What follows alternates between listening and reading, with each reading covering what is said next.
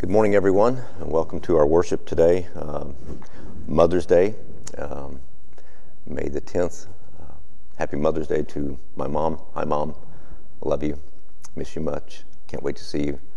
Uh, but we thank the Lord for uh, the opportunity to, to, give thanks to the Lord for um, the very great blessing of having a mom who loves the Lord. And if you're here today tuning in uh, and you're a mom, we thank the Lord for you and that you had the blessing of bringing children into the world.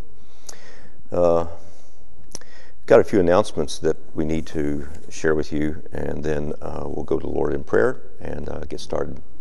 Uh, first of all, um, good news uh, Dot uh, had another negative test done, and so she'll be able to spend time with, with her family in just a few short days. So that's really great news for Dot. I'm glad that Scott was able to teach this past Thursday evening. Uh, he will be teaching again this coming Thursday evening, 7 o'clock, live streaming right here. If you were not um, able to uh, watch it live stream last Thursday evening, it's now been posted on the church's website uh, along with uh, all the other sermons. It's just lumped in with all the other sermons that I give or anyone who ever speaks here. So that was posted yesterday, so you can get caught up on that as sent out in an email. Uh, the small groups are up and running again, and men's prayer as well. And we met yesterday, and that was uh, a really special time. Uh, next Sunday, Lord willing, the 17th, uh, I've invited Ted Schneller will be here. We're going to worship the Lord at, at the Lord's table next Sunday, and uh, Roberto Arvela will be here as well and I'm writing a, a, worship service that where we all can participate, and uh, and uh, so the Hispanic Church also can tune in, and uh, we'll go to the Lord's table together, and I look forward to that. Let's bow our heads in prayer, and we'll get started in Romans nine. Our Heavenly Father, we thank you for another day that you provided for us. You gave us rest last night and strength for this day. We thank you for all the provisions of another week. And we ask, Lord, that you would continue to give our church and your church uh, wisdom and courage and endurance uh, during these days.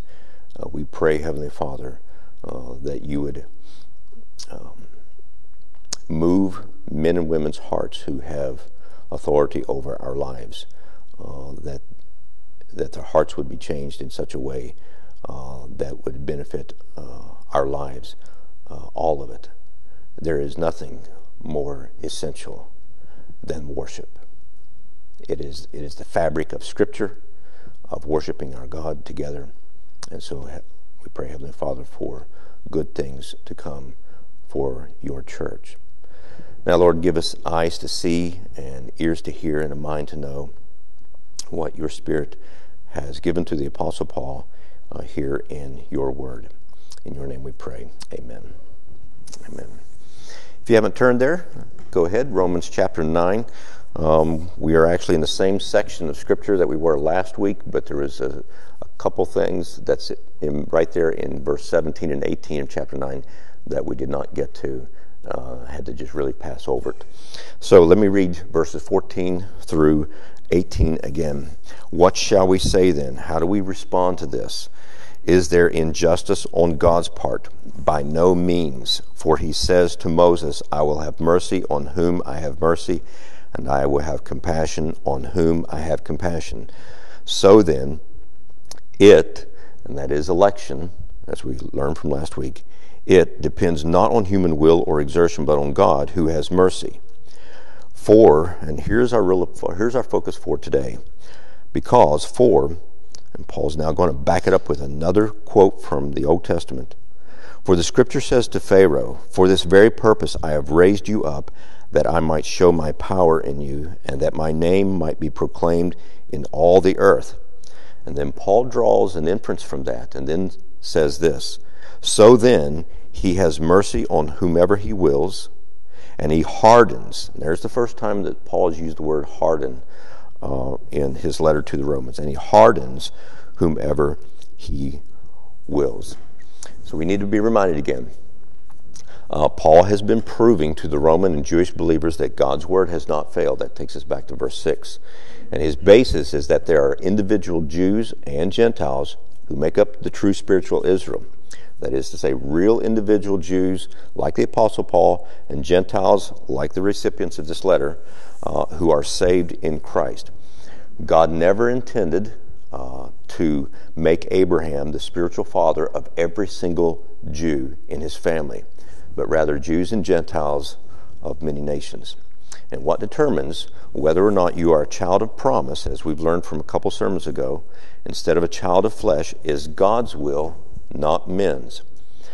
But Paul has spent enough time with believers teaching them these truths that he's aware. He's aware of the objections and the protests that are often lodged against his teaching, drawing false conclusions.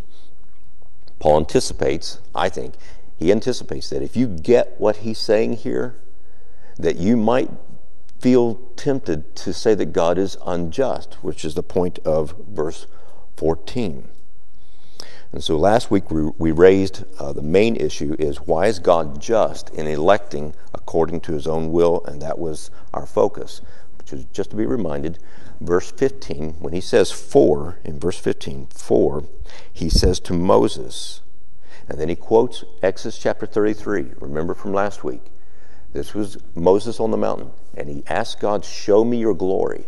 And the first thing that God did was say this I will have compassion, I will have mercy upon whomever I will.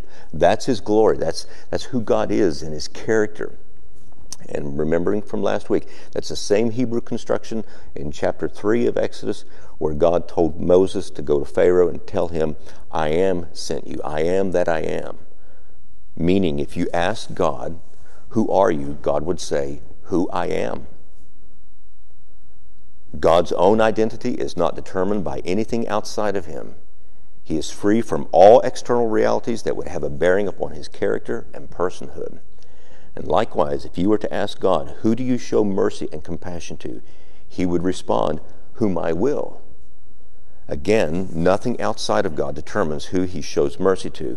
And this freedom to show mercy to whomever he chooses is what it means to be God. It's an expression of his name, his reputation, it's his glory. So then, verse 16, it, his election, is not dependent upon anyone else outside of him. And therefore, we should say with glad hearts, as we did last week, therefore, God is just. We would not say, verse 14, that God is unjust, that there is injustice with him. He is just in all that he does. We agree with Abraham. May the God of may the judge of all the earth do what is just, and he will. So that's a that's a recap of last week. Uh, so now this week, uh, today, verses 17 and 18. And there's the first time that Paul uses the word harden. Uh, we need some help in understanding what Paul means to say and what he doesn't mean to say when he uses the word harden. It sounds like uh, that God is actively making people sinful and making them sinners because he's hardening their hearts. We would agree with other portions of Scripture that everyone deserves to be hardened, meaning, and I'm going to show this, meaning everyone deserves a judicial locking up of their heart. Remember Romans 1 and God gave them over and He gave them up and He gave them up. That is a judicial hardening, a judicial response to the sin that's already in my heart. Romans chapter 11 helps us understand a little bit more what this word means and how it's used. So let's turn to Romans 11. It's the next time that Paul uses the word. So we'll, we'll get there eventually, but let's turn to Romans 11. Look at verses 7 through 10. After Paul talks about verse 5, election chosen by grace, what then? Israel failed to obtain, verse 7, Israel failed to obtain what it was seeking. The elect obtained it, but the rest were hardened. And now Paul's going to quote from Isaiah chapter 29. God gave them a spirit of stupor, eyes that would not see, and ears that would not hear, down to this very day, which was prophesied in Isaiah chapter 6 when God told Isaiah, Go speak the truth, go speak the gospel to these people. They will not have ears to hear, or eyes to see, or a mind to know. And then Isaiah responds, Well, how long am I going to speak to people who don't get it and don't want to get it? And God responds, Until I have completely destroyed this city, Israel, by bringing in outside nations. So Paul quotes that, and that helps us understand what hardening is. It is God's judicial response to sinful sinners. God is not making sinful sinners, He's responding to them. He's locking their heart up. And then the Apostle Paul, verse 9, quotes from David, Psalm chapter Psalm 69, which is a prayer. It's actually a prayer or a song of judgment. And so David says, Let their table become a snare and a trap, a stumbling block and a retribution for them. Let their eyes be darkened so that they cannot see and bend their backs forever. And then one more time, down in verse 25, Paul will use the word harden again. Look at verse 25. Lest you be wise in your own sight, I do not want you to be unaware of this mystery, brothers. A partial hardening has come upon Israel until the fullness of the Gentiles has come in. When we get to that verse, I'm going to lay it out, and I believe what this is teaching is that is that the partial hardening has to do with real Jews, ethnic Israel. I believe this is referring to ethnic Israel. Are there Jews coming to know the Lord today? Yes. But by and large, no. They are still in full rejection. One day, I believe God is going to lift the veil off of their eyes and uh, take away the hardening. So, Exodus is an incredible book to look at. And so, for the rest of our time this morning, we're going to be in Exodus. So, join me. Let's go back to Exodus chapter 4. I want us to see how Paul is using this truth that he quotes uh, here in chapter 9, uh, quoting from Exodus regarding Pharaoh. So we need to go back and look and see what the fuller argument really is. So, Exodus chapter 4, we'll pick it up there.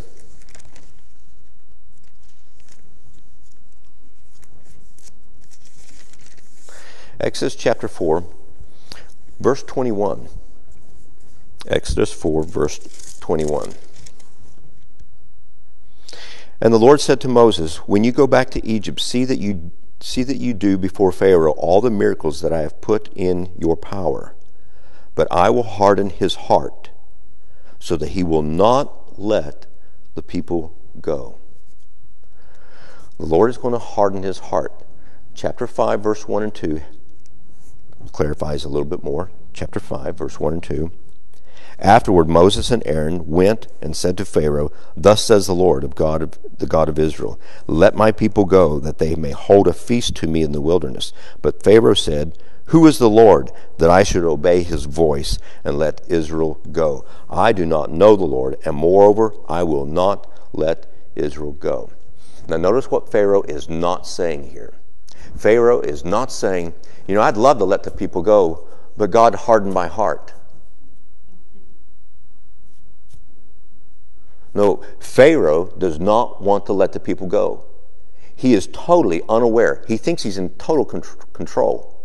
He is totally unaware of anything outside of his own ambitions and his own desires. He does not realize that God is hardening his heart. He does not understand that God is actually giving his own sinful heart up to itself, locking his heart up to the cravings of his sinful desires. He feels no constraint from the Lord at all. Chapter 5, verse 7 through 9, he says, You shall no longer give the people straw to make bricks as in the past. Let them go and gather straw for themselves. But the number of bricks that they made in the past you shall impose on them. You shall by no means reduce it, for they are idle. Therefore they cry, Let us go and offer sacrifice to our God. Let heavier work be laid on the men, that they may labor at it and pay no regard to lying words. So Pharaoh makes it unbearable for the Hebrew children. He's a tyrant, and he wants to make their lives miserable. He's jealous for supremacy uh, over uh, human beings. We need to be reminded of a great quote from R.C. Sproul at this point God is not creating fresh evil in Pharaoh's heart. But God is sovereign over it, it's already there. And God has a purpose. God is punishing the heart of Pharaoh by chaining the heart to itself. And therefore, the heart will get harder and harder and harder against truth and righteousness. If we could just pause just for a minute and think about that for our own hearts. That could have been my fate. That could have been yours. And it would have been just. It would have been just. We would be walking in darkness right now, absolutely despising everything that this book represents and despising our Lord. What mercy! What mercy! He set us free. Chapter 5, verse 22 says, Then Moses turned to the Lord and said, O Lord, why have you done evil to this people? Why did you ever send me? For since I came to Pharaoh to speak in your name, he has done evil to this people, and you have not delivered your people at all. That's, that's pretty bold language for Moses to use uh, in front of the Lord. And the Lord is, uh, he responds in an incredible way. But I need to clarify something. The evil here, this Hebrew word, it's used in the same way it's found in several places in the Old Testament, uh, like Amos chapter 3, verse 2. If evil befalls a city, is it not the Lord who has done it?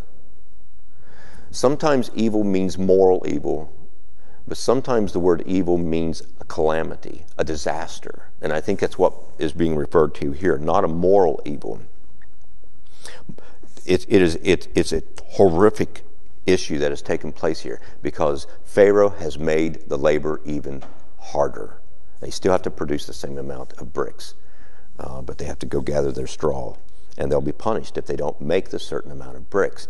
And this is this is a great hardship, great hardship. This is what tyrants do. They make it hard on people's lives. But ultimately, look what Moses is doing here. For since I came to Pharaoh to speak in your name, he has done evil to this people, and you have not delivered your people at all.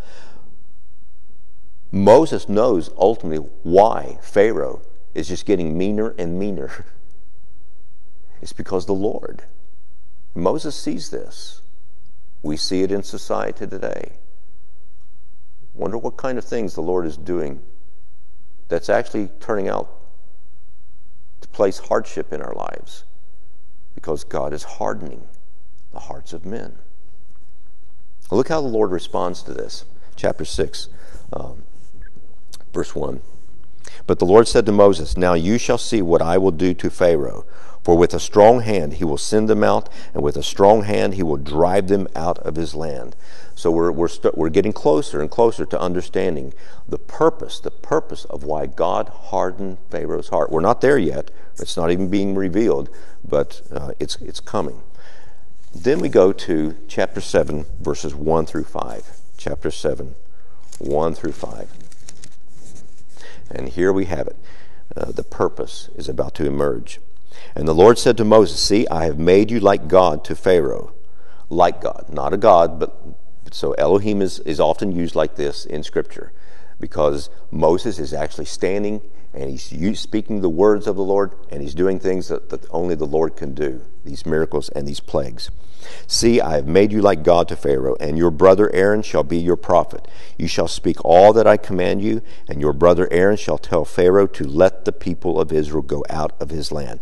But I will harden Pharaoh's heart, and though I multiply my signs and wonders in the land of Egypt, Pharaoh will not listen to you. go do this, but they're not going to obey. He's not going to obey. Verse 4 Pharaoh will not listen to you, then I will lay my hand on Egypt and bring my host, my people, the children of Israel, out of the land of Egypt by great acts of judgment. See, it's judgment.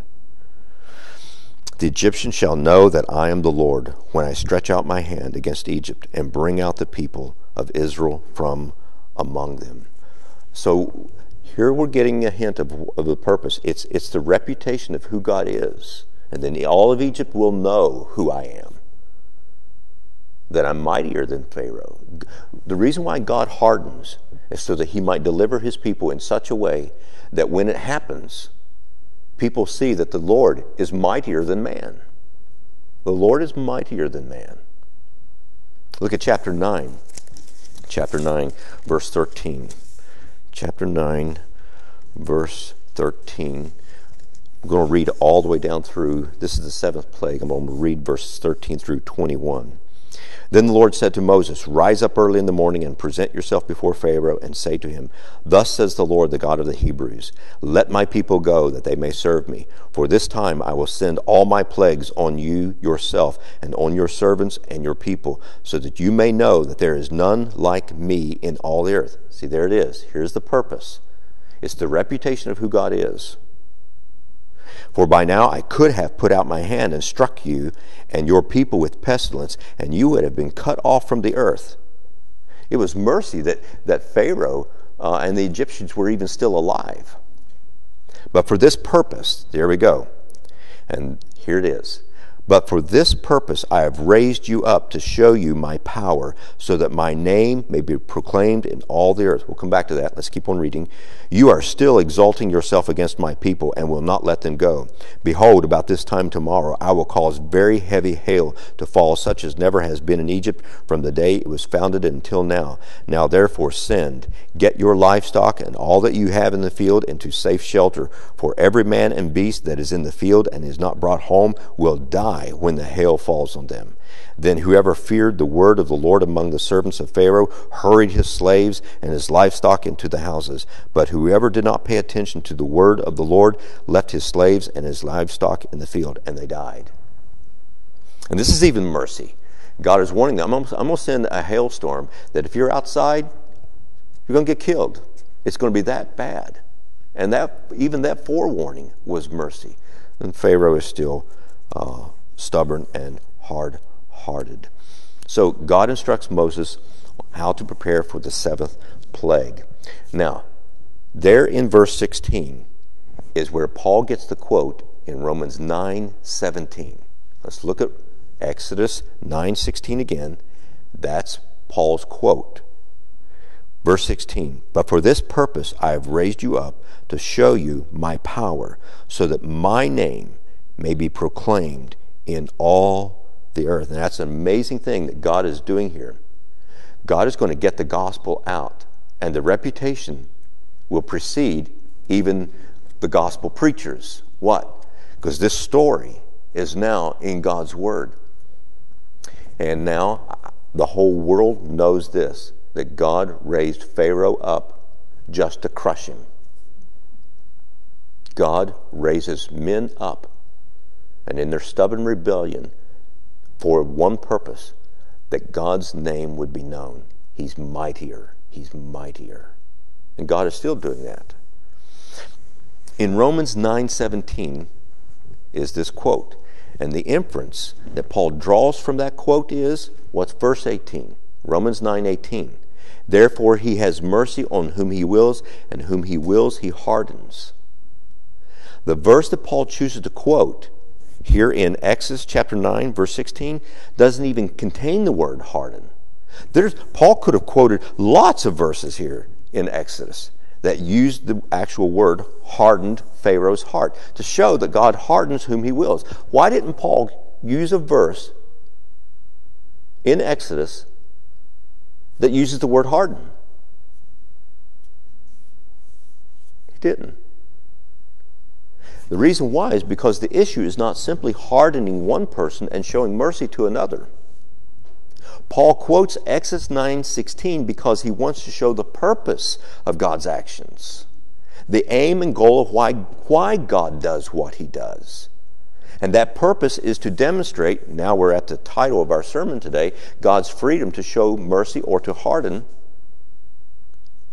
and that purpose is to demonstrate God's sovereign freedom in who receives mercy and who is hardened. Both mercy and hardening are grounded in God's will and not in men's willing or their running or their attitudes or their actions. This is what it means for God to be God. He is the all glorious God whose very nature and actions are not determined by anything outside of Him, but by His own perfect will and wonderful purposes. Now, I've had discussions with people in the past who disagreed with what I'm teaching here in Romans 9. And one of the ways that they try to get around unconditional election and what's happening here is just to simply say that the only thing that's happening in Romans 9 is that God is only concerned with historical affairs of ethnic groups. The historical affairs of ethnic groups raising one king up for this purpose and casting down another king for another purpose. I completely disagree with that, and here's the reason why. Why would God choose the words mercy and harden at all if that were true? I mean, if that were true, if it's just about one class of people getting an advantage in this life over another class of people, after quoting Moses, Paul should have said something like this I have raised you up for this purpose. Therefore, he raises up whom he will. Paul doesn't say, therefore, he raises up whom he will. He says, therefore, he hardens. He has mercy on whomever he wants to, and he hardens whoever he wants to. So it's not simply about one class of people getting an advantage in this, in this life over another. No, it's more, it is that. I would agree with that. That's not Paul's argument. Paul's wanting to show and prove that God's word has not failed. Romans chapter 9, verse 6. And the way that he's proving that is that everything that God had planned to, to do, it's happened exactly as God planned it. Which explains why people are in rebellion against the Lord and why people love the Lord, because God is sovereign over the heart. His word is doing exactly what it was intended to do. Paul uh, is not just showing God's control over historical roles of people groups, he has not lost sight of the theological crisis he wants to address, namely this though it seems that God's word of promise has fallen and is ineffective because thousands of Jewish men and women are not saved, Paul is simply saying, I assure you, God's word of promise has not failed. God's purpose is right on track to show himself as the glorious God who is absolutely just and free to display his name by showing mercy on whomever he chooses and to harden whomever he chooses. When you read um, the Exodus story, uh, the entire story uh, of leaving Egypt, which starts in chapter 4 and goes all the way through chapter 14, not once, not a single time, is God's hardening of Pharaoh's heart grounded in anything other than God's purpose to demonstrate his own power and to magnify his name? There's not a single act or an attitude on Pharaoh's part that is the basis of God's actions. It's got nothing to do with Pharaoh's actions. The action of God in Pharaoh's life is determined ultimately by the purpose of God, not Pharaoh's. And that purpose is to demonstrate that the effectiveness of God's word is not determined by men's responses or non responses. Let me say that again. That purpose is to demonstrate that the effectiveness of God's word is not determined by men's responses or non responses. And therefore, it is not that the word of God has no effect. God is fulfilling his word exactly as he has planned. Exactly. And the proof is, God is telling Moses, but I will harden his heart and he won't let, let him go. That's God's word. And God's word is taking place. It's, it's happening exactly as he says it. Look at, if you're still in Exodus, I hope you're still there, look at Exodus chapter 9, verse 29. Exodus 9, 29. Moses said to him, As soon as I have gone out of the city, I will stretch out my hands to the Lord. The thunder will cease, and there will be no more hail, so that you may know that the earth is the Lord's. Again, it's all about so that you may know who this God is. He controls everything. He controls tsunamis. He controls the weather patterns, all of it, exactly as God has determined. But as for you and your servants, I know that you do not yet fear the Lord God. You don't fear him. Verse 34 says, But when Pharaoh saw that the rain and the hail and the thunder had ceased, he sinned yet again and hardened his heart. It's the only time it's mentioned that he, that where it says he, he hardened his own heart. he and his servants. So the heart of Pharaoh was hardened, and he did not let the people of Israel go, just as the Lord had spoken through Moses. Have you ever wondered that? Um, I have, especially with my own family members. Uh, a, a, tragedy takes place uh, in the family, and then we say, surely this will wake them up. Uh, I remember the first time that I heard that. Uh, it was 1971 uh, when one of my oldest cousins was killed, killed in a car wreck. He was doing drugs and he was drunk. It was 3 o'clock in the afternoon on a school day. They crossed center line and, and Terry was, was killed. Uh, they hit a school bus head on. I remember at the funeral, downtown Clay, West Virginia. I remember hearing one of my aunts say, Surely, this is going to wake up the other boys. Because Terry was one of seven boys by Aunt Sharon. Ricky went on to keep doing drugs. Joey went on to keep doing drugs. Incarceration. Mm, most of my cousins are dead now. There's only a few alive. Out of those seven boys, there's three. You know, Pharaoh was seeing the mercy of God. The hail stopped. Men's hearts are so sinful that even when God is merciful, they still won't give him thanks. That's how bad our hearts, that's, that's, the, that's how bad the condition of our hearts are, are in. And but for the mercy of God, the heart will stay stubborn. So, what is your greatest hope for the, your lost neighbor, your lost friend, your lost coworker that you care deeply about? Is your hope in their willpower, or is your hope in that God will be merciful to their heart? God must show mercy. Chapter 10, verses 1 and 2 of Exodus chapter 10, verses 1 and 2. Then the Lord said to Moses, Go into Pharaoh, for I have hardened his heart and the heart of his servants, that I may show these signs of mine among them, and that you may tell in the hearing of your son and your grandson how I have dealt harshly with the Egyptians, and what signs I have done among them, that you may know that I am the Lord.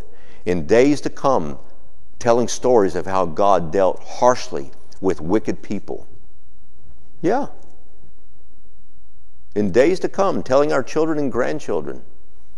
Let me tell you a story how God dealt harshly with wicked people. Because that is who He is.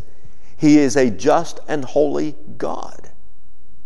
And if we think that wicked people are going to escape the wrath of God, they're not. They're not. Not today, not ever. By the time all the plagues are done, chapter 14, if you turn there with me. Chapter 14. The plagues are over, the Israelites have been released. Uh, but the purpose of God's hardening of Pharaoh is not yet complete. It's, it's, not, it's not there yet. It's getting close.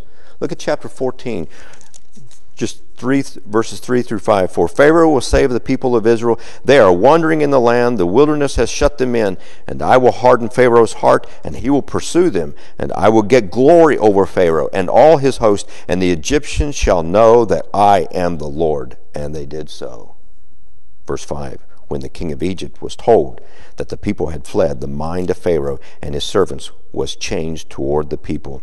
And they said, What is this we have done, that we have let Israel go from serving us? And then they mounted their chariots and they took off after them and cornered them at the Red Sea. Look at verse 8. Verse 8. And the Lord hardened the heart of Pharaoh, king of Egypt, and he pursued the people of Israel while the people of Israel were going out defiantly. Look at verse 17 and 18. 17. And I will harden the hearts of the Egyptians so that they shall go in after them, and I will get glory over Pharaoh and all his host, his chariots, and his horsemen. And the Egyptians shall know that I am the Lord when I have gotten glory over Pharaoh, his chariots, and his horsemen. Look at verse 31. Verse 31. Israel saw the great power that the Lord used against the Egyptians. So the people feared the Lord, and they believed in the Lord and in his servant Moses. And we just skipped over the section where the Lord drowned Pharaoh and his army in the Red Sea while the children of Israel escaped on dry land. So, this is God's aim to demonstrate his power and glory so that his name will be declared in all the earth, so that the gospel goes out. In chapter 15, verse 1, here's what we don't see Moses does not call and hold a Bible conference and title the conference um, something like um, um, Perplexing Issues of Divine Sovereignty and Human Responsibility.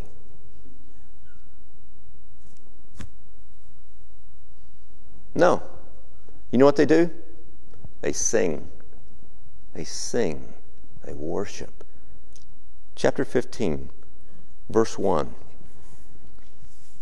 Then Moses and the people of Israel sang this song to the Lord, saying, I will sing to the Lord, for he has triumphed gloriously. The horse and his rider he has thrown into the sea. The Lord is my strength and my song, and he has become my salvation. This is my God, and I will praise him, my father's God, and I will exalt him. The Lord is a man of war. The Lord is his name. Pharaoh's chariots and his host he cast into the sea, and his chosen officers were sunk in the Red Sea. The floods covered them. They went down into the depths like a stone. Your right hand, O Lord, glorious in power. Your right hand, O Lord, shatters the enemy. In the greatness of your majesty, you overthrow your adversaries. You send out your fury. It consumes them like stubble. At the blast of your nostrils, the waters piled up. The floods stood up in a heap. The deeps congealed in the heart of the sea. The enemy said, I will pursue. I will overtake.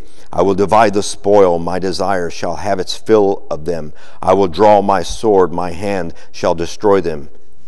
You blew with your wind, the sea covered them. They sank like lead in the mighty waters. Who is like you, O Lord, among the gods? Who is like you, majestic in holiness, awesome in glorious deeds, doing wonders? You stretched out your right hand, the earth swallowed them. You have led in your steadfast love the people whom you have redeemed. You have guided them by your strength to your holy abode. The peoples have heard, they tremble. Pangs have ceased seized the inhabitants of Philistia. And now are the chiefs of Edom dismayed. Trembling seizes the leaders of Moab. All the inhabitants of Canaan have melted away. Terror and dread fall upon them because of the greatness of your arm. They are still as a stone till your people, O Lord, pass by, till the people pass by whom you have purchased. You will bring them in and plant them on your own mountain, the place, O Lord, which you have made for your abode, the sanctuary, O Lord, which your hands have established the Lord will reign forever and ever. He reigns. The Lord reigns. He reigns over cancer. He reigns over marriages. He reigns over your children. He reigns over your plans and your dreams. He reigns all over your, all of your pains and your pleasures. He reigns over the government. Praise the Lord. He reigns over the souls of men.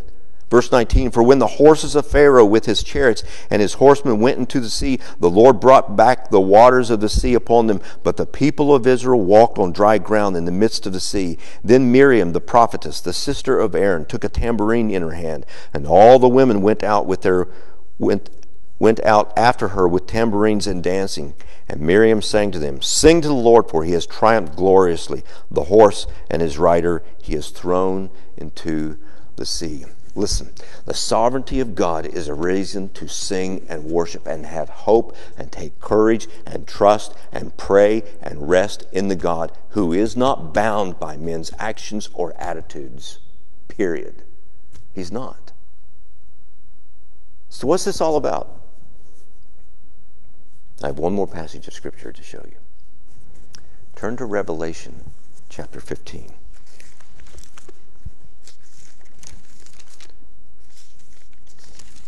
And this takes us back to some wonderful, wonderful times and Sundays when we were working through the book of Revelation verse by verse. After this section, chapter 14, coming to the end of the tribulation, which I believe uh, we're in it right now. I hadn't planned to say this, but I think I will. I'm starting to feel sorry for my, um, my brothers and sisters in Christ who may be starting to scratch their head and wonder if where's that pre trib rapture? I mean, this is not supposed to be going on. The church is not supposed to, to be enduring this. We should have been out of here by now. You see, chapter 14, if you remember those days when we were in Revelation, I believe the seals, trumpets, and bowls are giving us the same identical picture, just telling us the same story from a different angle. And we've gotten to this point, if you remember those days, the crescendo has taken place. And there were peals of thunder and blasts of lightning, and there, there was a great earthquake.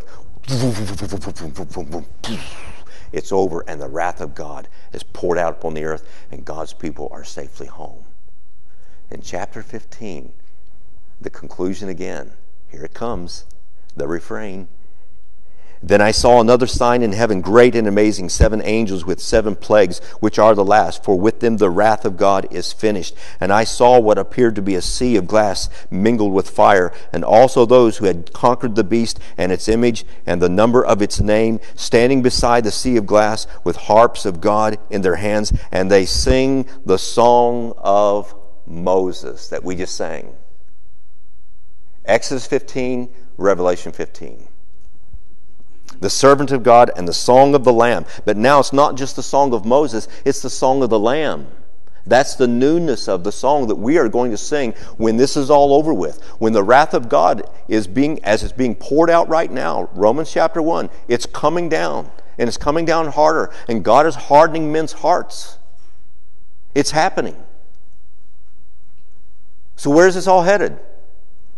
To worship the God of all the earth, when God one day shows the entire world who is the true Lord of lords and King of kings, and no longer just the song of Moses, but the song of the Lamb, Christ will rule and reign, and everyone will tremble when he comes on the clouds. This is the purpose of God. God wants to be known for who he is, and he's going to make himself known. And then quoting Exodus 15 Great and amazing are your deeds, O Lord God the Almighty. Just and true are your ways, O King of the nations.